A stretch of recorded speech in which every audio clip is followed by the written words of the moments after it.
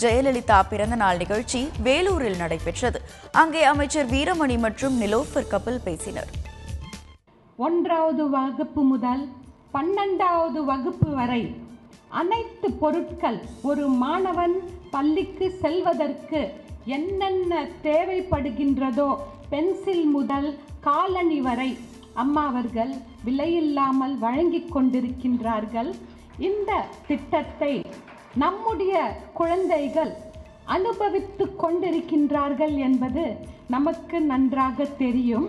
இந்த திட்டம் அனைத்திந்திய அண்ணா திராவிட முன்னேற்ற கழகத்தின் குழந்தைகளாக இருந்தாலும் சரி இல்லை திமுக கட்சியை சேர்ந்த குழந்தைகளை குழந்தைகள் இருந்தாலும் சரி இது அனுபவித்து கொண்டேதான் இருக்கின்றார்கள். தன்னம்பிக்கையுடன் வேலைக்கு செல்ல வேண்டும் என்பதற்காகவும் பெண்கள் வீட்டில் உள் வீட்டின் வேலைகள் முடித்து தங்களுடைய பிள்ளைகளுக்கு பள்ளிக்கு அனுப்பி அந்த நேரத்தில் தக்க நேரத்தில் பஸ்கள் இல்லாமல் இருக்கலாம் என்ற காரணத்திற்காகவும் மேலும் பெண்கள் வேலைக்கு சரியான நேரத்தில் சென்றடைய வேண்டும் என்பதற்காகவும் நம்முடைய மாண்புமிகு புரட்சித் தலைவி அம்மா அவர்கள் இந்த மானியத்துடன் ஸ்கூட்டி வழங்கும் திட்டத்தை கொண்டு வந்துள்ளார்கள். நாம் யாரும் கோரிக்கையாக அம்மாவிடத்தில் எனக்கு கிரைண்டர் கொடுங்க மிக்சி கொடுங்க ஃபேன் கொடுங்க இப்படி யாரும் கேட்கல.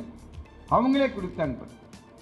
அடுப்பு அதாவது உரலில் அம்மி ஆட்டிலிருந்து உரல் அடிச்சிருந்து உரத்தில் உரலில் அரிசி ஆட்டி இதெல்லாம் மாற்றிடணும் பெண்களை கஷ்டத்தை உருவாக்கக்கூடாது. அது அவங்க மட்டும் கஷ்டப்படணும். ஆக்கி வச்சா போய் ஆண்கள் சாப்பிட வேண்டியது. இந்த நிலையை மாற்றம் அவருக்கு எளிதிலே அவர்களுக்கு அந்த கஷ்டங்களை கொடுக்கக்கூடாது என்பதற்கு அந்த மிக்சி கிரைண்டர்லாம் கொடுத்தாங்க. ஏழை எளியர்கள் தன்னந்தனியாக ஆதரவற்றவர்கள் தன்னந்தனியாக வாழ்வதற்கு வாழ்வாதாரத்தை உருவாக்கி கொடுப்பதற்கு ஆடுகளையும் கறவை மாடுகளையும் கொடுத்தார்கள் அம்மா அவர்கள். இந்த திட்டங்கள் எல்லாம் நாம் யாரும் எவரும் கோரிக்கையாக கேட்ட திட்டமில்லை. தானாகவே அம்மாவுடைய மனதிலே உதித்த திட்டங்கள்.